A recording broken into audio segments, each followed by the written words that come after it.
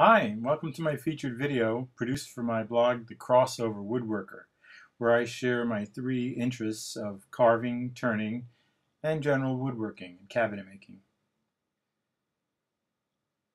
This project is a, a unique spoon that employs three uh, skills of turning, carving, and routing.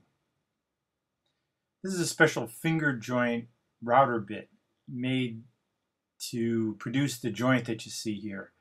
Normally uh, a butt joint end-to-end grain uh, would be very weak when it's glued. But with this joint, there's a lot of glue surface and it's much stronger. And uh, for commercial use, uh, small short lengths of wood can be joined together with this and then making larger panels uh, for window frames and doors and, and other, other things that uh, can be painted later. I just love to make wooden spoons. They're like making little sculptures that have a real purpose in life and function in the kitchen.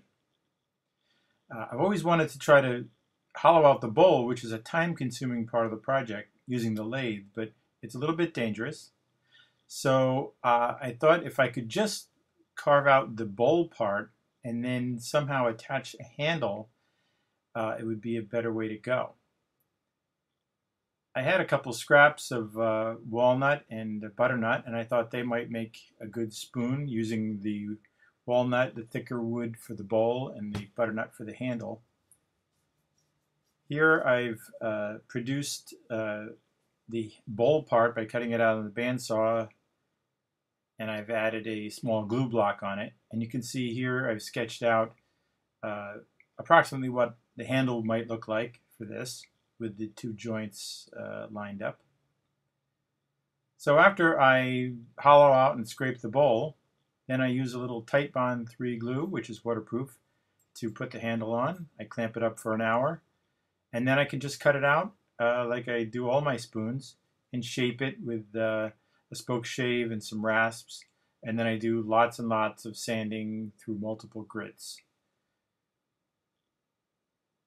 Here's a, a finished spoon with my uh, oil wax mixture finish. And uh, you can see the interesting joint uh, on the back, the contrast of the two woods.